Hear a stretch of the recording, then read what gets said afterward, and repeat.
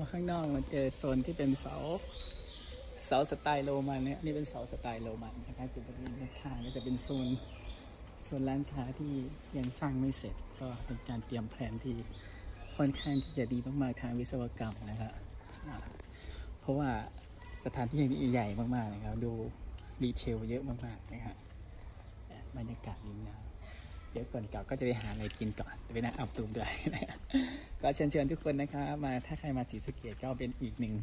แลนด์มาร์กหนึ่งเป็นอันซีนของศรีสะเกดที่นะครับสำหรับสายทำบุญหรือว่าสายบูบ้านเท่านะครับนี่ก็จะเป็นส่วนทางไปห้องน้ำนะส่วนทางไปห้องน้ำบบรรยากาศดีมากๆ โอเคพาทุกคนดูแค่นี้ก่อนนะครับเดี๋ยวพรุ่งนี้อาจจะได้มาอีกมากลางวันเนี่ยอันนี้มาวันนี้มาเซอร์เวย์ก่อน โอเค เดี๋ยวไปทานข้าวกลับบ้านแล้วไปทานข้าวกันยายก่อน